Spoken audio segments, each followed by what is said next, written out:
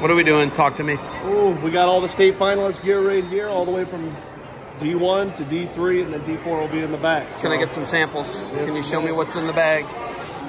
So this is D2, so we D2, singlets. And they're determined, their colors determined by the uh, side of the bracket they're on, right? I would imagine, yeah. Okay, all right. So we got short singlets, Short singlet. and then they get a shirt, Ooh, a finalist shirt. and then right. the other guy is going to get the opposite. Oh, okay. So you just got each final. Okay, that's double. Okay. Correct. They roll up. They tell you their division. They tell you their weight. You give them their finalist deal. Do they got like a paper they got to turn in or anything? Yes, they do. Look at that. I knew Jared would do something like that. Some confirmation.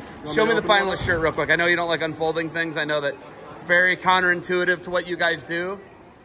So that's the finalist shirt. Ah, and it's labeled and branded. Excellent. Hey, conquer the impossible today, all right? I appreciate it. All right, keep You're grinding. the man.